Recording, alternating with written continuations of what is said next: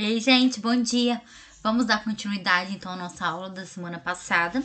Hoje a gente vai falar um pouquinho sobre os tecidos musculares e também um pouquinho sobre o tecido nervoso.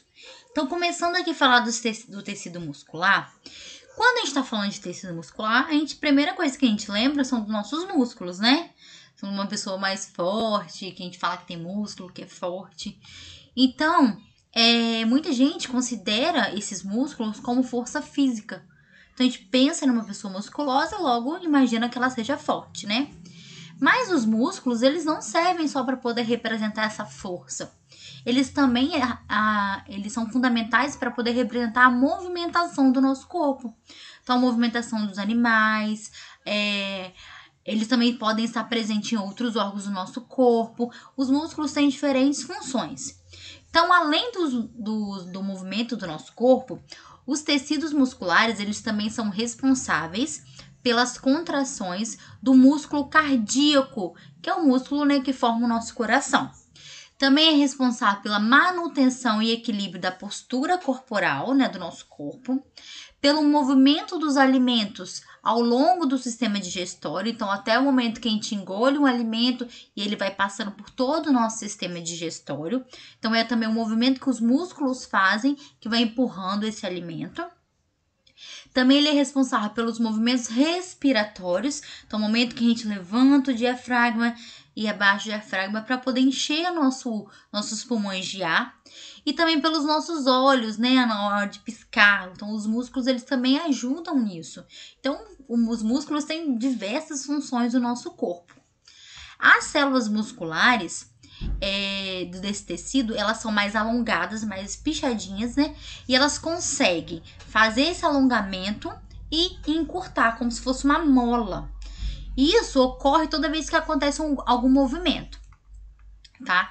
Essas células a gente chama elas de miócitos. Esse é o nomezinho da célula, ó. Vocês podem até ver aqui, tá em negrito, vocês podem até grifar. Pode grifar também esse pedacinho aqui que é muito importante, tá? Esse aqui, ó. Então, essas fibras musculares, ou os miócitos, como são é, chamadas, né? Elas são especializadas em permitir esses movimentos.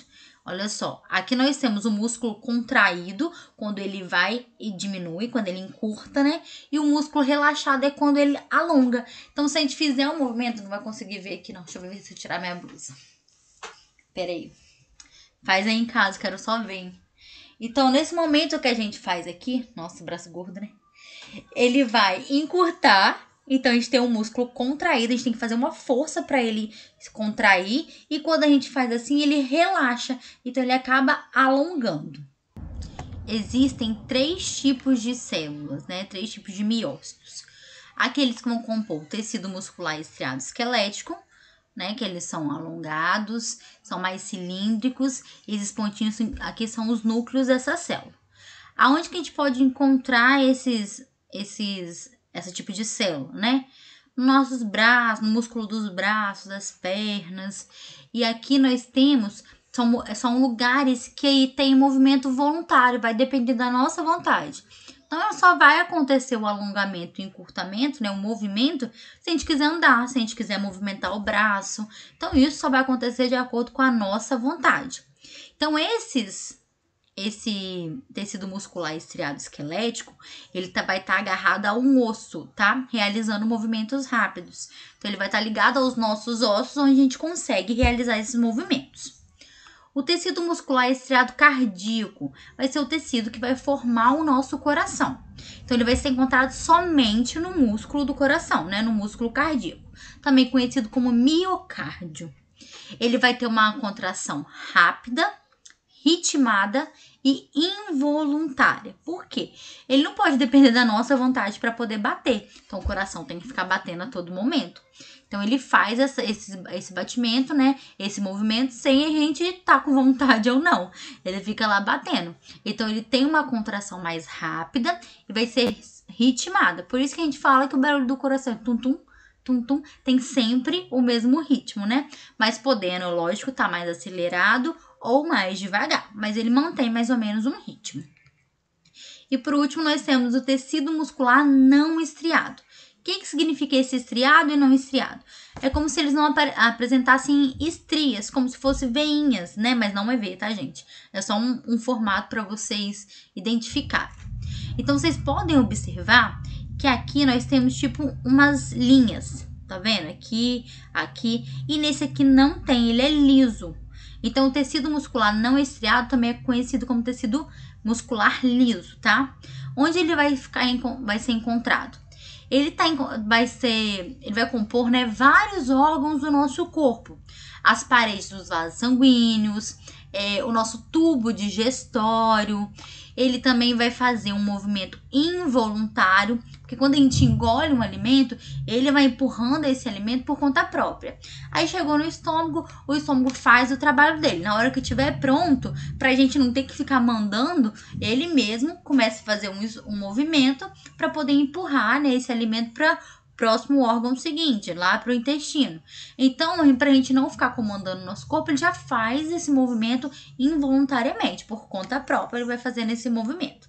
Só que as contrações dele são mais lentas, tá? Então, aqui no estriado cardíaco, as contrações são mais rápidas.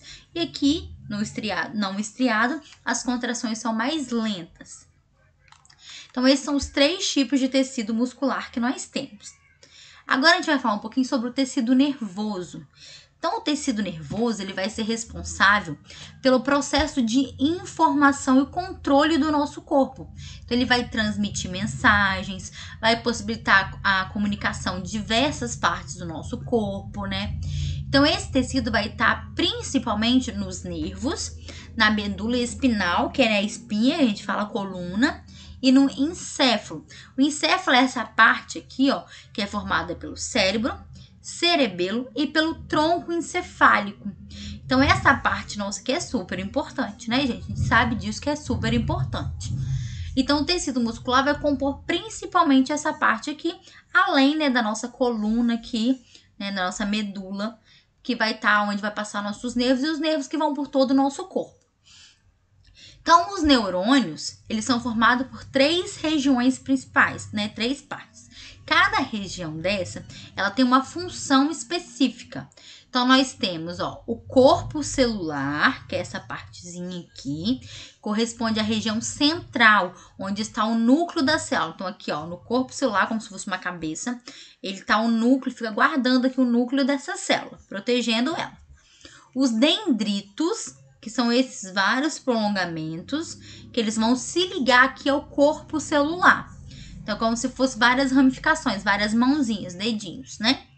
E o axônio, que é como se fosse o corpo. Então, é como se tivesse um corpo, uma cabeça e os cabelos, tudo arrepiado, né? Então, o axônio vai ser o prolongamento, ele vai ser mais longo, vai ser fino, ele vai começar aqui do corpo celular e vai se ramificar lá no final. Então, aqui, ó, ele vai ter as terminações do axônio, é que ele acaba se ramificando e no finalzinho nós temos essas, essas terminações, tá? Quando a gente for falar dos sistemas do nosso corpo e a gente estudar o sistema nervoso, nós vamos falar um pouquinho mais sobre as funções dos neurônios, como acontece, né, os impulsos nervosos no nosso corpo. Aqui nós estamos estudando apenas os tecidos né, que vão compor essas partes do corpo, do, do, do corpo, né?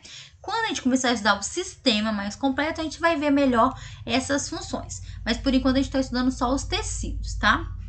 Então, o, os axônios dos neurônios ele vai ser envolvido por um extrato mielínico. É uma substância lipídica, que tem gordura, né?